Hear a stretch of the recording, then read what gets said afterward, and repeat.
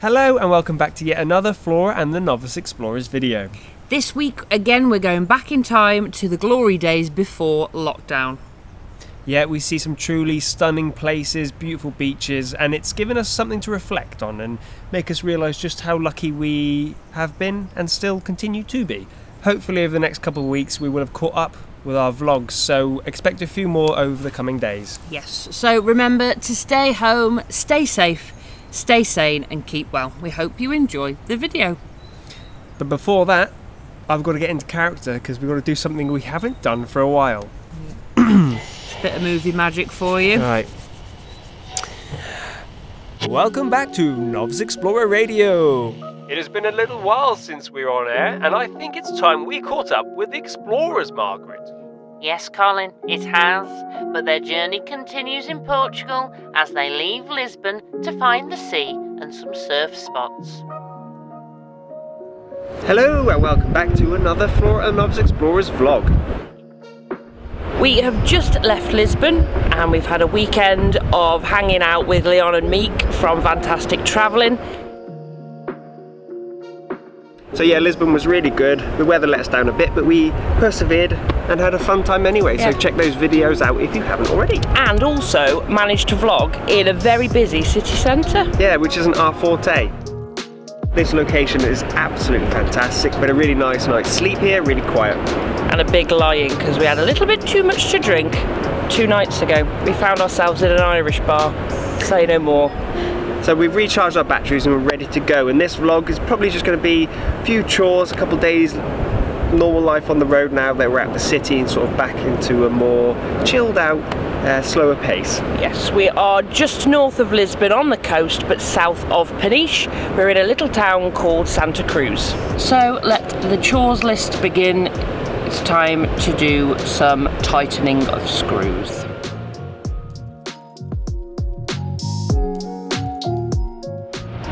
Time for a spot of brunch.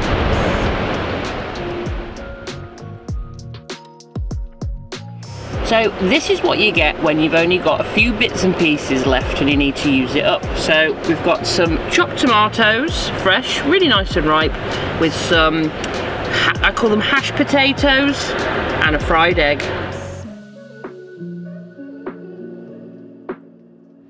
As lovely as this spot has been for the night, we are going to head more north, just a few kilometres to a bit more of a secluded spot potentially. We want to be able to walk on the beach, possibly fly the drone, take some pictures and just chill out for the rest of the day really. So uh, so we've packed the van down, swiveled the seat, made sure all the notches are turned on the cupboards and we're ready to hit the road. So hopefully in a few minutes we'll be at nice little car park just up the road.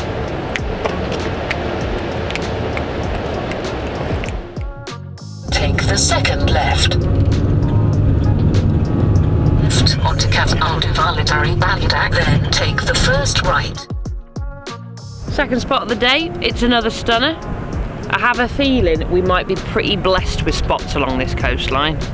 And I think everything's always better when the sun's out. Oh yeah, definitely. My mood is dictated quite heavily, unfortunately, by that sun. Uh, so what we're going to do now is go for a quick walk, Yeah, a get on the beach. have a look what's around the local area. It's been a while. Not much by the look of it, but that's quite nice. Local surroundings. Massive seagulls.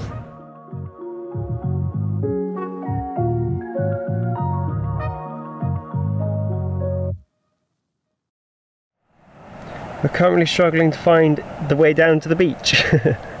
Good old uh, Google Maps on satellite says we need to go down here. Oh, there's people. And then down, forward, and then down. But there is still a bit of cliff, so I'm hoping that there might be some sort of steps. Hmm, it's a bit of a sheer drop otherwise. Nice walk through the dunes, though. Come on, let's go and find our beach spot.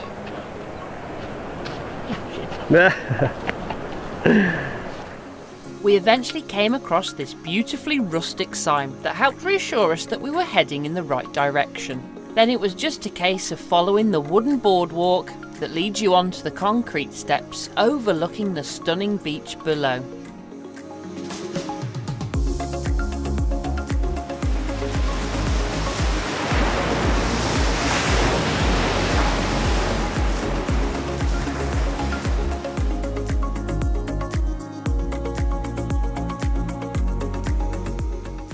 Lovely beach, albeit a little bit loud because the sea is a little bit temperamental. Yeah, it looks a bit ferocious, and I think we better watch out because I think the tide comes up to here. So let's be responsible and not be silly. yeah, if the tide comes and cover these steps behind us, I don't really know what we're going to do, so uh, we might stay close to here just in case.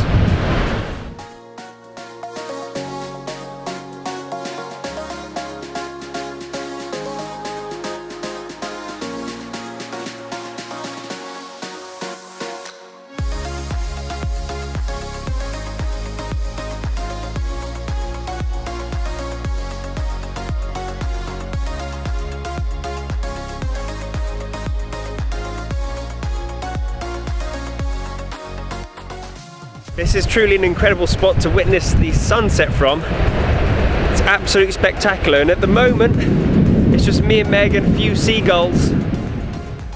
I don't think we had the slightest idea of just how lucky we were in this moment. We had everything we needed, almost limitless freedom and were surrounded by beauty that seemed to go on forever.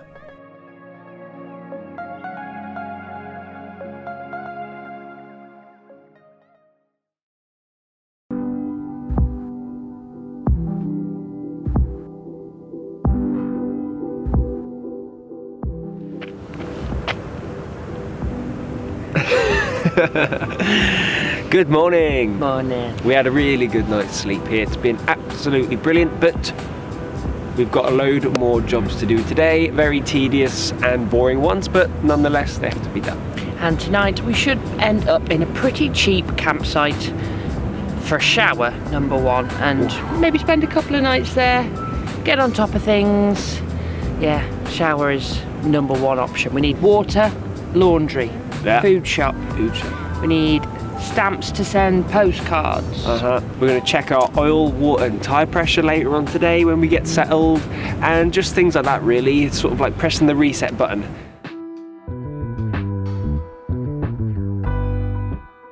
We headed to the town of Peniche and found the local laundrette to begin our mundane tasks.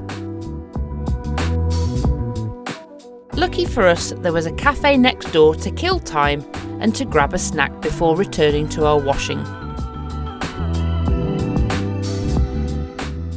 Then the weekly food shop. With most of our tasks completed, we checked into the town's cheapest campsite.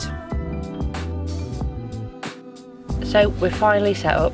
It's eleven euro forty for two nights. That's two adults, the van, and electricity. So we think that's a very good price.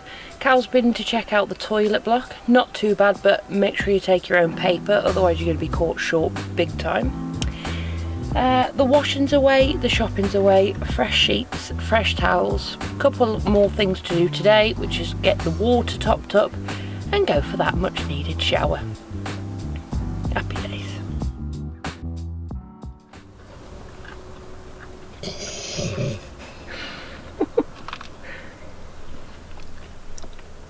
How dare you eat toast in front of poor old Oscar? I think he's had plenty of toast in his time. We've got a, a new mate, a German Oscar, who just likes hanging out. He knows the borderline. He's only tried it once, getting into the van, but we've given him just a little bit of toast, and now he's our mate forever. After a few nights on the campsite, we made our way to Nazare, home to some of the world's biggest surf. We headed into the main part of the town. Of course, we treated ourselves to a coffee, and this time we tested a Nutella Bola de Berlim. We walked the beach and watched the surf. Impressive as it was, it wasn't quite the giant waves that we'd expected. But eventually, we realised that the iconic lighthouse was nowhere to be seen. So we retreated back up the large hill in search of the famous surfing landmark.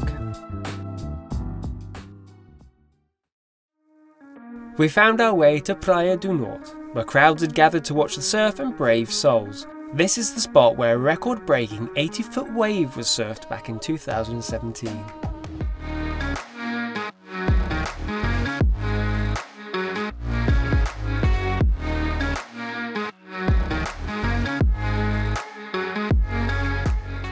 Our boards remained firmly strapped to Flora's roof rack.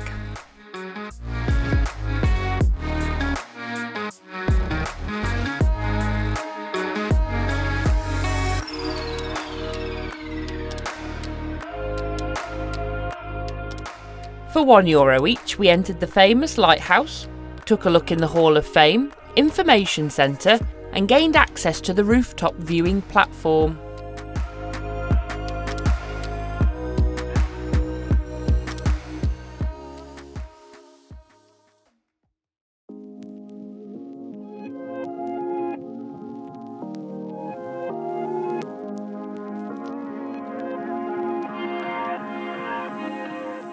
Our next destination has been noted in the Lonely Planet's book of 50 beaches that will blow your mind.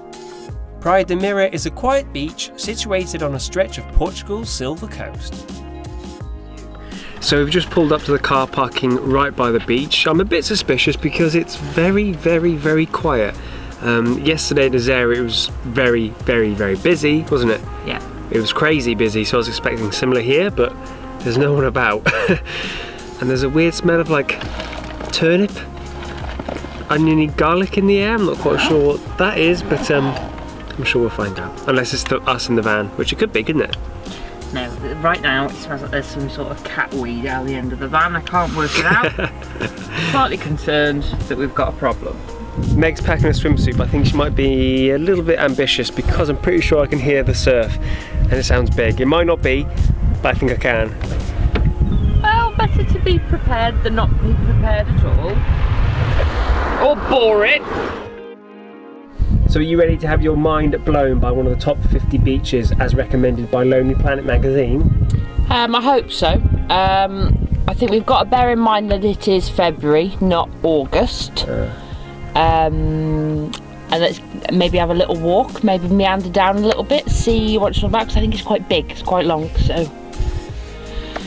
I hope it lives up to expectation, love, I do.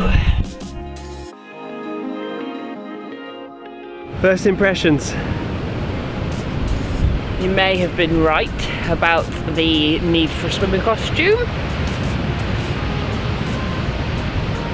It might be alright. I'll save you. No, you will not. Uh, Looks and nice. there's Sea foam, so We'll have a look, shall we? yeah, if we walk down into the town, it might get a bit calmer or not. But it's supposed to be one of the one of the more relaxing beaches on the list for tranquility. It looks nice. Nice sand. Yeah, nice sand, nice dunes.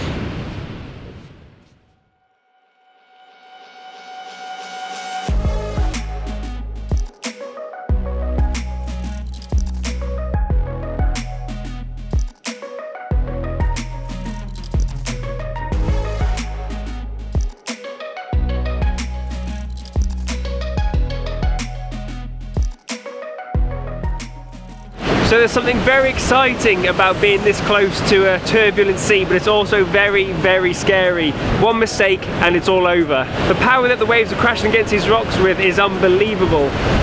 It's quite an amazing sight. I think uh, yesterday's experience with big waves scared us a little bit as well. It's just Yeah, seeing the sea like this turbulent soup that's just uncontrollable. So the pros of travelling out of season is that there isn't quite as many people here, but then the negatives are that it's not quite as good as it is in the summer. Weather-wise and being able to swim in the sea, it's a little bit wild today, and there's a chance we would probably die. I think this is where we will stay for tonight. It's not quite in the wild and rural, but it's flat, it looks alright, and that's what wins tonight's vote. Yeah, it's uh, not very exciting. It's very similar to what we left this morning. Um, the good thing about these spots is that you know you won't get moved on, so we can like maybe have a little glass of wine later while we do our blogs. Um, but yeah, it's not very exciting. But neither is the weather or anything, so what do you? Yeah. But we're having something exciting for tea. I'm going to make van life sushi.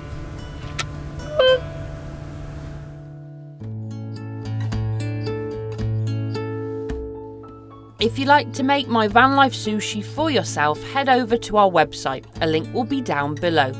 Trust me, it's pretty good and a little bit of a treat. I want this to music, I don't necessarily want.